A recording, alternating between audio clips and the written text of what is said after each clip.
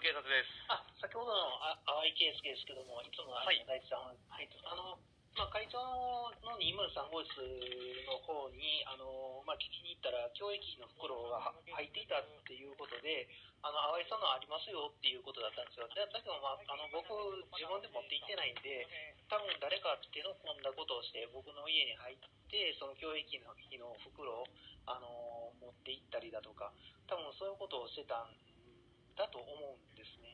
で、はいまあ、ポストの鍵に関してはもう絶対開けられてましたね。はい。もう最初から、あの、おジョーが開いてましたんで、はい。あーままたそしたらまあまあまあとりあえず、とりあえずおお金の方は、ちゃんと、はいあの届いてましたんで、はい。あのーまあ、そういうう教育費2000円の件に関してはあの改めて、あの届いてましたということで、ただ、もうはい手の込んだことされてますね。はい。以上です。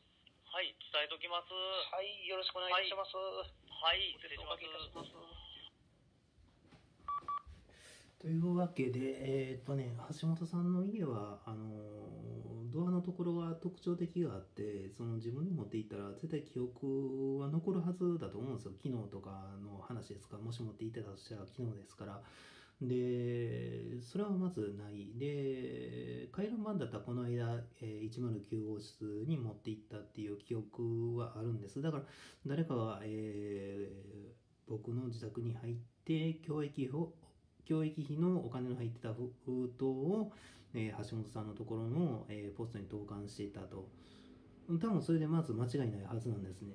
もう1日前とかだからもうその辺は記憶ははっきりしてますんで。だからまあそういうふうなややこしい方法使用しているまあただしポストに関してはもうもう絶対以上を開けられてましたね。まあ以上です。